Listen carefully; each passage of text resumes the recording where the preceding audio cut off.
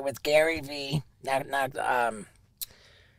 Candidly, Yes. Gary. Yes. You're you're you're so uh, specialized Yes. in in uh, business, being an entrepreneur, financial success, and and we've always enjoyed speaking with our guests about like what what their various revenue streams you know like I'd love to hear a guest's top three revenue streams without being invasive about, Yeah, about numbers Yeah. but uh I but you want me to answer it or?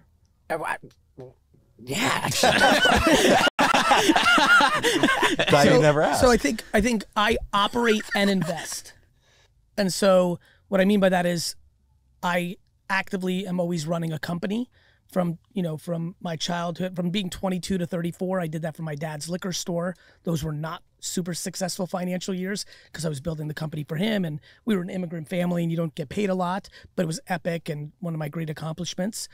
So when I say I operate and I invest, right now I'm the CEO of a company called VaynerX. Vayner Media is the big company in that. Oh, I love this. Yeah, a modern day communications company.